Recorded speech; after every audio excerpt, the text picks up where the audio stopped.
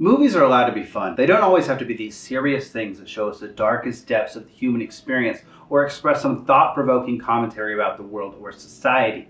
After all, Movies are an art form that have the ability to create an opportunity for escapism in a way that few mediums can. This is why movies do so well during chaotic moments and economic downturns historically. In 1934, Will Hays, head of the Motion Picture Producers and Distributors Association, said that no medium has contributed more greatly than the film to the maintenance of the national morale during a period featured by revolution, riot, and political turmoil in other countries. An article in Digital History, which is published by the University of Houston entitled The Movies Meet the Great Depression, goes on to say that during the Great Depression, Hollywood played a valuable psychological and ideological role providing reassurance and hope to a demoralized nation.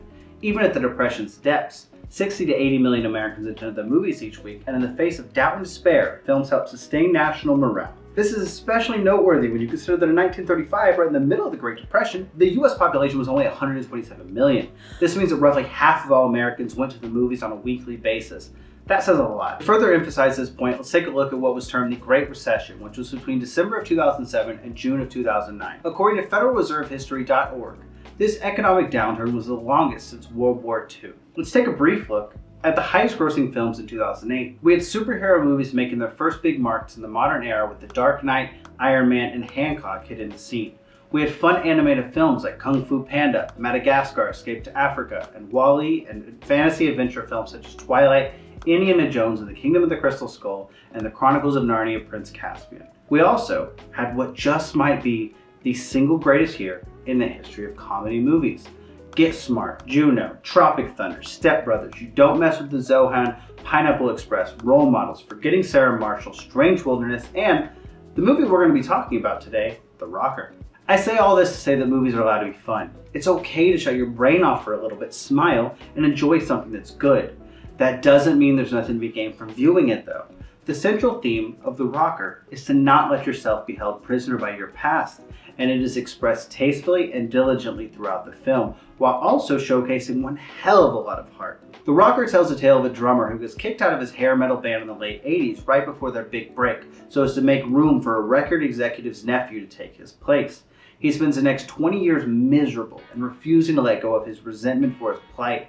After being fired from his job as a result of a coworker forcing him to listen to his former band Vesuvius' new album and his inevitable freakout, he moves in with his sister and ends up having to fill in as a drummer for his teenage nephew's band. They keep playing and end up with a record deal and a tour, so suddenly in his 40s, he gets a chance to live the life he always wanted. The movie is full of talent as the cast is amazing. The star of the film is none other than Rainn Wilson, and he does a great job as Robert Fishman, aka Fish, the full of life, eccentric, and wild drummer. His nephew, who plays keys in the band, is a young Josh Gad, with this being the first movie that I ever saw him in back in 2008. We also have a young Emma Stone, fresh off of Superbad fame, but prior to Easy A. The broody emo singer of the band is played by a young singer-songwriter named Teddy Geiger. Outside of the main core, we have a great supporting actor group as well. Jane Lynch plays Fish's sister, and the great Jeff Garlin plays her husband. The mother of the singer of the band is Christina Applegate, and the band's slimy piece of crap manager is played by Jason Sudeikis, with his old band consisting of Bradley Cooper, Will Arnett, and Fred Armisen. This is one of the fun elements of the film at play is that while all these actors were working prior to this, nobody was a household name that would go on to be yet. The movie is simply fun. It doesn't take itself too seriously, and genuinely funny moments, mostly utilizing physical and borderline slapstick humor, which has all but disappeared from comedy over the past 10 years or so. It doesn't try too hard, and it doesn't pander. It simply is what it is, and there's nothing wrong with that. My girlfriend and I watched it together recently, as I like to watch movies I'm going to review with her prior to writing these, as I'm always interested by the criticisms that she offers. She gave the movie a 7, stating that it was corny and like School of Rock with no Jack Black.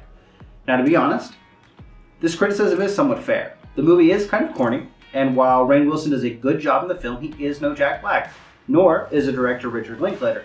That being said, who is Jack Black other than Jack Black, and who is Richard Linklater other than Richard Linklater? Nobody. I don't think it's fair to hold to that standard as it's impossible to hit. I also don't feel that the movie is really trying to be School of Rock in any way. Is it about an aging rock obsessed man who never made it that suddenly has a bit of an opportunity when he meets some talented kids? Yes, that's really where the similarities start and end though, unless we decide that optimistic and borderline naivety infused positivity is somehow a School of Rock trope alone. I think the premise of this movie stands on its own as it gives us a look at an alternative history for some of the great what ifs in music history, with the ultimate being Pete Best. I won't spend too much time on this, so don't worry, but I do think it's worth noting. For those unaware, Pete Best was the Beatles drummer until 1962 when he was replaced by Ringo Starr. Thirteen months later, the Beatles had their first hit in England, and four months after that, the Beatles were playing the Ed Sullivan Show and having young boomer girls scream their names and chase them around in what became known as Beatlemania. Pete Best was this close to being a part of that. Imagine being Pete Best. Pete never really recovered from this and spent years of his life post Beatles going around and giving lectures on how he was almost a Beatle. My father actually saw one of these at Western Illinois University in the 80s. Of course, Pete Best isn't the only musician to suffer such a fate. However, nobody is a better poster child for this particular plight than Pete. A couple of other people to suffer from what I am now going to term a Bessian burden would be when Blink-182 switched drummers between Dude Ranch and Enema of the State, and when Nirvana's original drummer left and was replaced by Dave Grohl right before they started making Nevermind. Ouch. While I don't believe either of these were actually kicked out, boy would that still suck. Now no offense to Blink-182 or Nirvana, both of whom are bands I absolutely love, but they don't hold a candle to the Beatles in terms of fame or legacy. Pete Best had it the worst, making his name almost iconically ironic in this context. One of the things I love most about the movie is that there's a moment in the film, in the first act, where after Fish has been fired from his job, he's sitting at a bus stop next to none other than Pete Best himself. I love that. It's very cool of Pete to be willing to make this cameo that most people would never even notice, and it's so sweet of the movie to go out of their way to cast him in this. Throughout the film, we see a central theme iterated over and over again, which is not to let yourself be held prisoner by your past. The movie does a good job of not beating you over the head with this, but it's still there if you are paying attention. It does a great job of expressing the sentiment, and I think it's a lesson that people should take to heart. This is something I personally struggled with for many years, as a year-long debacle of an off and on, hot and cold relationship with a girl that I thought to be the one when I was 21 hindered me for years as I played it over and over and over in my head, trying to figure out what I could have done differently and hoping that life would somehow lead us back into one another's arms at a different place in time. It was only after I accepted the reality that the past was gone and that there was nothing I could do about it other than learn from it that I was able to move forward. Thank God I eventually did that. I wouldn't be where I am today if I hadn't, and I am in a really good place because of it. If there is anything in your past that you cling to, take this as a sign that it might be time to let it go.